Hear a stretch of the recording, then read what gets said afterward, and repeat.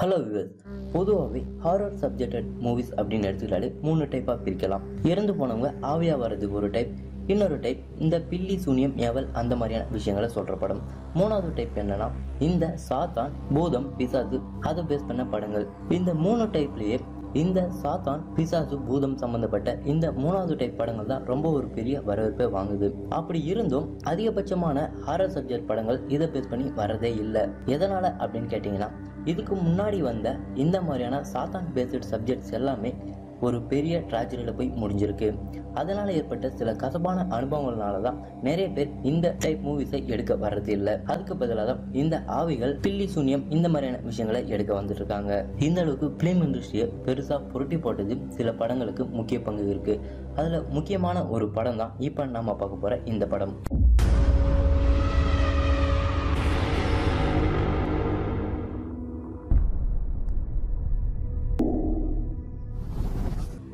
நாம பார்க்க போற அப்படியான அதிபயங்கரமான திரைப்படம் எது அப்படின்னு பார்த்தீங்கன்னா ஆண்ட்ரூம். இந்த திரைப்படத்தை வெறும் ஆண்ட்ரூம் அப்படின்னு சொன்னால் யாருக்குமே தெரிய வாய்ப்பில்லை. ஆனால் the deadliest film ever made அப்படின்ற சப்டைட்டிலோட சொன்னால் மட்டும்தான் நிறைய பேருக்கு தெரியும். ஏன்னா இந்த படத்துக்கு பின்னாடி இருக்கிற மிஸ்ட்ரி ஏதோ ஒரு நாள் ரெண்டு நாளில் முடியிற விஷயம் இல்லை.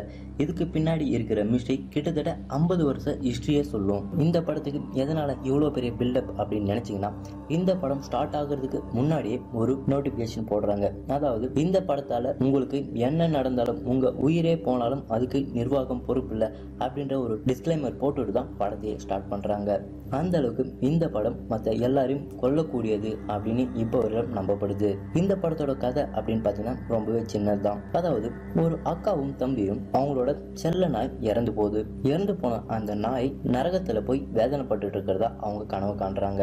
அதனால அந்த நாயோட ஆத்மாவை அந்த பாதாள லோகத்திலேருந்து மீட்டுட்டு வந்து சொர்க்கத்துக்கு அனுப்பணும் அப்படின்ற முயற்சியில் இறங்குறாங்க. இதுக்காக ஒரு அடர்ந்த காட்டு பகுதியில் போய் அந்த பாதாள லோகத்துக்கான வழியை கண்டுபிடிச்சு அதுக்குள்ள இருந்து அவங்களோட நாயோட ஆத்மாவை எப்படி கொண்டு வராங்க அப்படின்றது தான் கதை.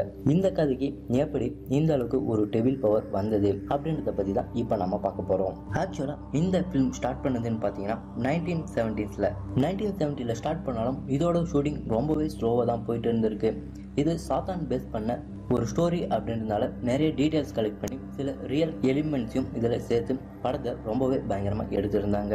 அப்படி கதையோட ரியாலிட்டிக்காக சில விஷயங்கள் செய்ய வேண்டியிருந்ததுனால ஷூட்டிங் ரொம்பவே ஸ்லோவாக தான் நடந்துட்டு இருந்தது ஏதோ ஒரு வழியாக ஷூட்டிங்கை முடிஞ்சு நைன்டீன் எயிட்டி எயிட்டில் முதல் முறையாக முதாபிஷ் அப்படின்ற ஒரு தேட்டரில் இந்த படத்தை ஸ்ட்ரீம் பண்ணுறாங்க அதாவது இந்த படத்தோட ஃபர்ஸ்ட் டே ஃபர்ஸ்ட் ஷோ படம் ஸ்டார்ட் பண்ண கொஞ்ச நேரத்திலே ஒரு பர்டிகுலர் சீன்ஸ் வரும்போது இந்த தேட்டர் தீப்பிடிச்சி எரிய ஆரம்பிக்குது.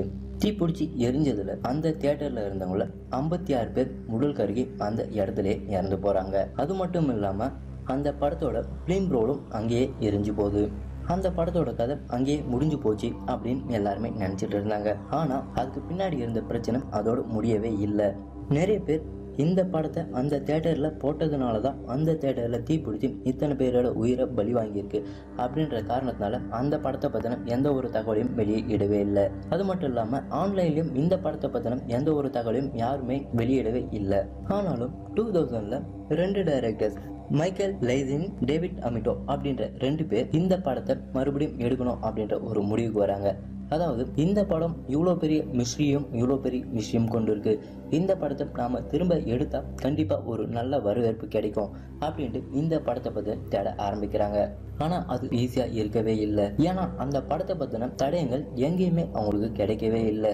ஒரு வழியாக அந்த படத்தோட ஒரு சில காட்சிகளையும் அது மட்டும் இல்லாமல் அதோட கதை மூலக்கதையோட ஒரு சில பகுதியும் கைப்பற்றுறாங்க. அதை வச்சு படத்தை ஆரம்பிக்கிறாங்க. படத்தை ஆரம்பித்த கொஞ்ச நாளில் யூனிட்டை சேர்ந்த ஒரு சில பேர் அடுத்தடுத்து இறந்து போறாங்க. அப்படி அவங்களோட இறப்புக்கு காரணம் இந்த படத்துல இருக்கிற அந்த ஒரு சில ஒரிஜினல் எலிமெண்ட்ஸ் தான் அப்படின்ற ஒரு முடிக்கு வந்து அந்த படத்துல இருந்து ஒரு சில ஒரிஜினல் எலிமெண்ட்ஸை நீக்கிறாங்க. படத்தை எடுத்து முடிச்சு ப்ரூக்லின்ல ஹாரர் பிலிம் ஃபெஸ்டிவலில் இந்த படத்தை ஸ்ட்ரீம் பண்றாங்க. படத்தை பார்த்து நிறைய பேர் பாராட்டுறாங்க. அதுக்கப்புறம் அந்த படத்தை பார்த்த ஒரு சில பேர் அடுத்தடுத்து இறந்து போறாங்க. இதில் பயந்து போன அவங்க அந்த படத்துல இருந்து இன்னும் ஒரு சில சீன்ஸை நீக்கிறாங்க.